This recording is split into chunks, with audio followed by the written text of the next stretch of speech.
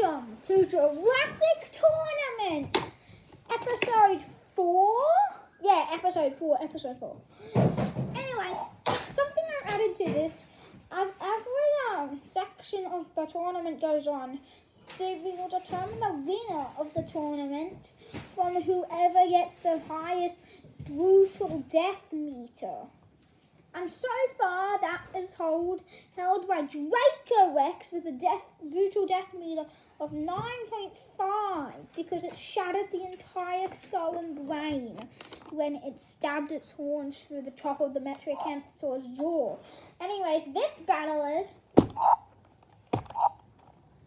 Therizinosaurus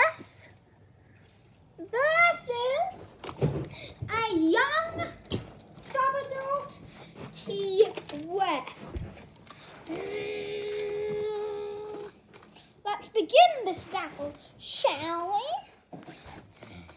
Mm. Oh, goes in for a bite on the neck. Rips out a piece of the flesh.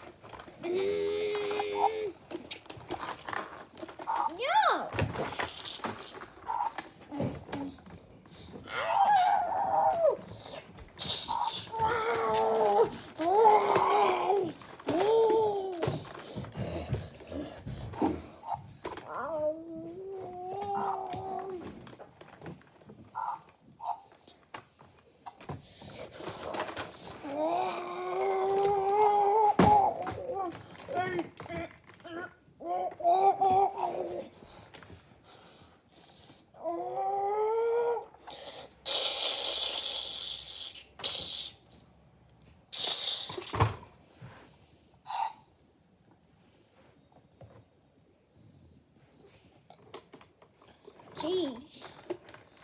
Getting his heart and neck bones stabbed out of his body. That was lethal. Very lethal and brutal. With that end of the battle, we have a new brutal death meter champion. With a brutal death meter of 10. Red Tyrannosaurus truly is a deadly predator.